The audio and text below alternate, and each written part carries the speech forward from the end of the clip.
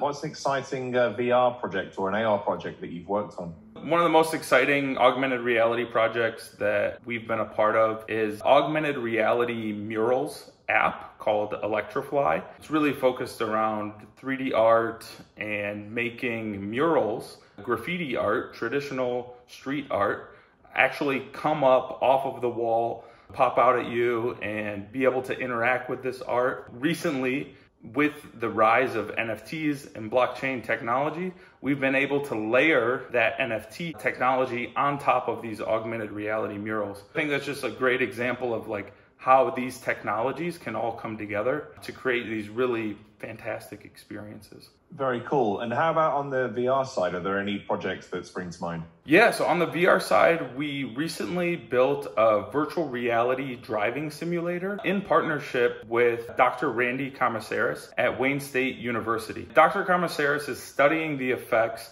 of alcohol and marijuana on people's driving performance. So we built a fixed base driving simulator, very similar to a simulator that you would see at Dave & Buster's, you know, with uh, a wheel and pedals and a motion simulator. Dr. Commissaris would have subjects come in and then actually take a drink and then perform a series of driving tests on this virtual reality driving simulator. And he was measuring their reaction time. And so he would have them come in and drink one beer, take a breathalyzer, do the driving test, and drink another beer, take a breathalyzer, do the driving test until the subject was blowing above a 0.08, the, the legal limit. So this is a great example of how you can use these technologies to do research. Quite frankly, it would be very, very dangerous to do in real life. So this is something you can simulate in VR using this fixed base driving simulator.